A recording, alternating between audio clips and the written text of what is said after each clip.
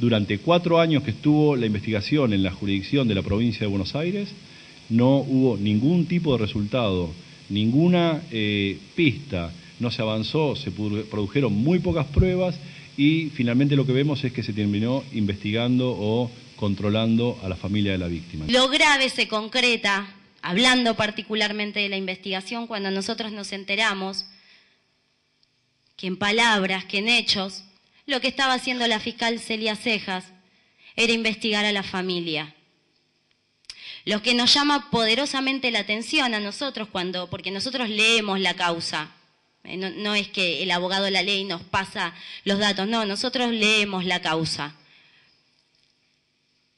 Y vemos la hipocresía de, este, de esta justicia, que por un lado, primero justifica la intervención de nuestros teléfonos para tener datos sobre Luciano y poder avanzar con la investigación, Después, en otro momento, en estas prórrogas que se hacen y que se piden, habla de que en realidad ahora ya estarían tratando de protegernos. A ver, primero nos investigaban. En la segunda etapa nos querían proteger. El tema es, si nos querían proteger, ¿no hubiese sido bueno que nos avisen que nosotros estábamos en peligro?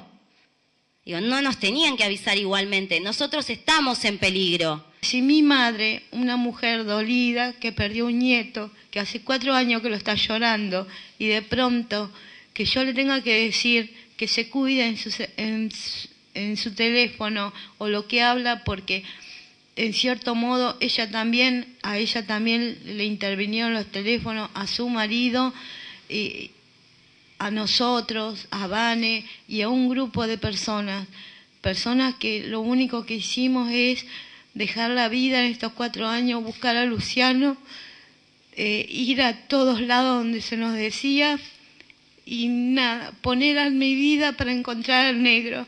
Eh, así se nos trató, así nos trató la justicia. Eso es lo que más nos duele de todo esto, que estaba en riesgo nuestra seguridad. Y recién a partir de la intervención del juzgado federal se nos muestran legajos que fueron ocultos durante más de cuatro años. ¿Con qué necesidad? Al mismo tiempo que nosotros denunciábamos que estábamos siendo perseguidos. Una cosa que realmente hasta el día de hoy yo más. Y se lo decía a la familia y se lo digo a los compañeros que trabajan en la causa. Realmente yo no sigo creyendo que, no hicieron esto. Cuando nosotros presentamos el pedido de, de, jury, de de enjuiciamiento hoy, el CELS, la APDH, eh, en la Secretaría de Enjuiciamiento, ahora lo que esperamos desde el CELS, desde la APDH y fundamentalmente las víctimas, es que estas respuestas institucionales eh, sean serias y que sean acordes a la gravedad de la denuncia que estamos haciendo.